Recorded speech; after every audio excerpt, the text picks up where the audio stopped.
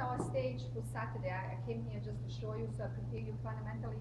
I usually, when I do the show and I don't see the stage and I come in first time to do the show, it's kind of nerve-wracking. So I wanted to show you how our stage looks, what sizes, and what side you're coming from. So you're going to be coming from this side out.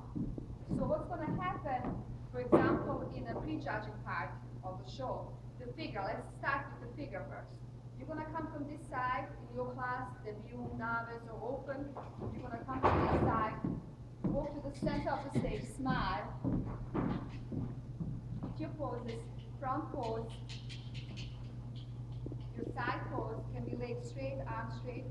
One arm on the hip, can be leg bended, can be other leg bended, can be both arms on the hips. Turn to your back pose.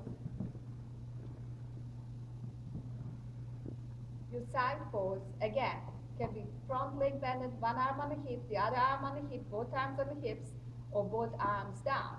And then hit your front pose. And go to the side. Wherever expedite I tell you to go. Could be on this side, hit your pose again. Till other girl gonna come out, do the poses, turns front, side, back, side, front, and maybe go to the other side till every girl in your class come out and do the introduction. So you stay here till everybody is done, and then judge is gonna call you to the front of the stage, which is gonna be right here. Still smile, always smile, correct? And hit your front pose. Now you wait on a judge to call the quarter turns. Judge gonna say quarter turn to the right. You hit your best pose, your best pose, what suits you. You're allowed to twist in your upper body or bend the leg too, or keep the both legs straight. Quarter turn to the right, move a hair to the side. If you have a long hair, open your back. Don't move your arms too high up. They always say keep them down so your finger can touch your body.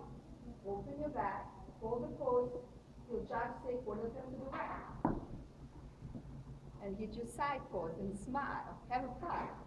Quarter turn to the right, your front pose. And they may, may be gonna be moving with other competitors. Of course, you wave, move up front, always up front, switch with the other number, move back and hit your pose. This was for figure.